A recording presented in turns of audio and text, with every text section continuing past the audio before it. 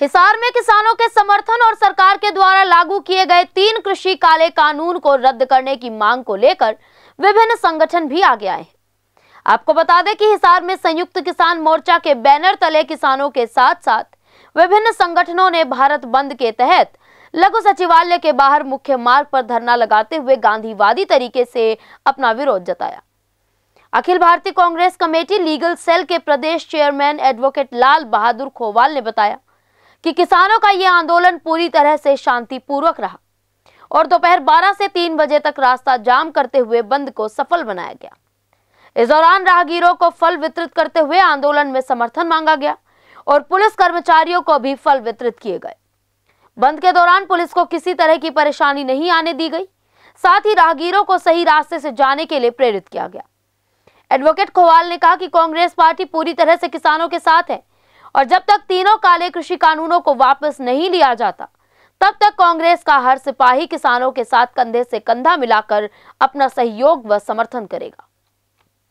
आज जिस तरह से किसानों ने आह्वान किया था कि 12 बजे से 3 बजे तक हम रोड जाम करेंगे। उसी कड़ी में कांग्रेस पार्टी ने भी हमारी राष्ट्रीय अध्यक्षा सोनिया गांधी जी, हमारे प्रिय नेता राहुल गांधी जी और हमारी प्रदेश अध्यक्षा यशस्वी, हमारी बहन कुमारी सैलजा जी ने भी आह्वान किया है कि हम किसानों का समर्थन करेंगे।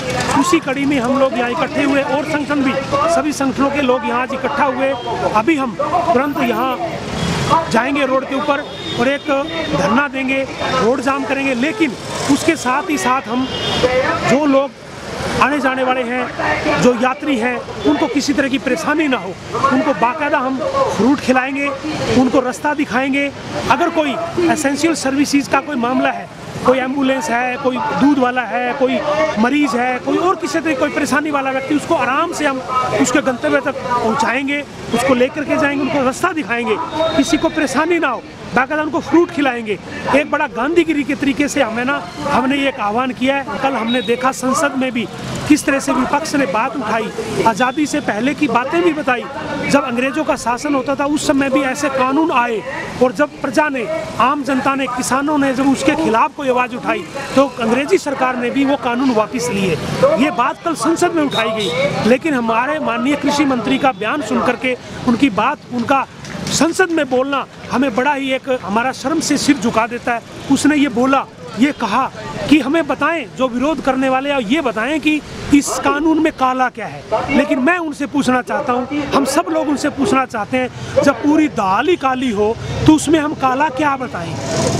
कितनी हैरानी वाली बात है। किस तरह से एक प्रजातंत्र में सरकार प्रजा के लिए बनाई जाती है, प्रजा के लिए कानून बनाए जाते हैं, लेकिन प्रजातंत्र में एक संविधान की कैसी, कैसे संविधान का मखौल उड़ाया जा रहा है, किस तरह इसकी धजियाँ उड़ाई जा रही है। क्या मतलब प्रजातंत्र में हमें ये देखने को एक दिन बचा था कि ये पूरा देश सड़कों पे खड़ा है, पूरा देश आवाज़ उठा रहा है, पर सरकार के बिल्कुल जू तक नहीं रेंग रही। ये बड़ी हैरानी की बात है एक संविधान की धजियाँ उड़ाई यही है, मकसद के जो तो एक फरवरी को बजट पेश किया गया, उसमें किसानों की अनदेखी की गई है। किसानों के साथ इतना धोखा करे और सब कुछ व्यापारी को बांट दिया गया।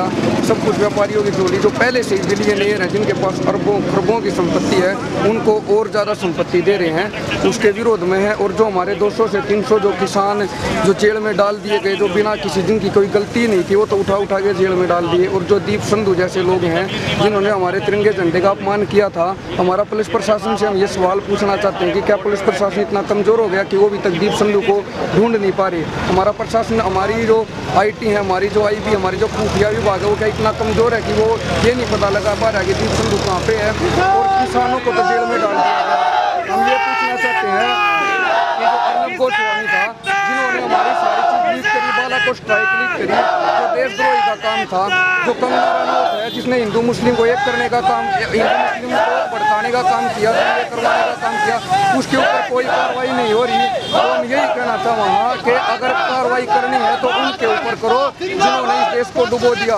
एक और चीज़ कहना चाहूँगा, छब्बीस जनवरी ने जी जो घटना हुई, उसमें सभी लोग किसानों से सवाल पूछ रहे हैं। हर मीडिया किसानों से सवाल पूछ रहा है, हर भारत का नागरिक किसानों से सवाल पूछना चाह रहा है। मैं रहा हूँ कि सवाल किसानों से मत पूछो, सवाल दिल्ली के प्रशासन से पूछो कि वो चार से पाँच लोग प्रशासन के अंदर घुस कैसे गए। हमारे दिल्ली पुलिस इतनी कमज़ोर कैसे होगी कि वो जो चार पाँच लोग थे, उनको लाल किले के अंदर घुसने दिया गया।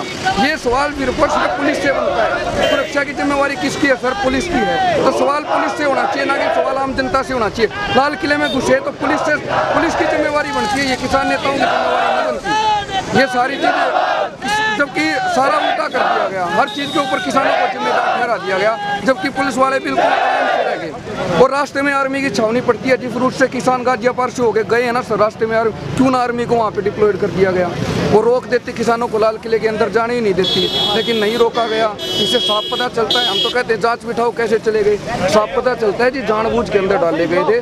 सब कुछ दीप संधु का उनके साथ संगठन था।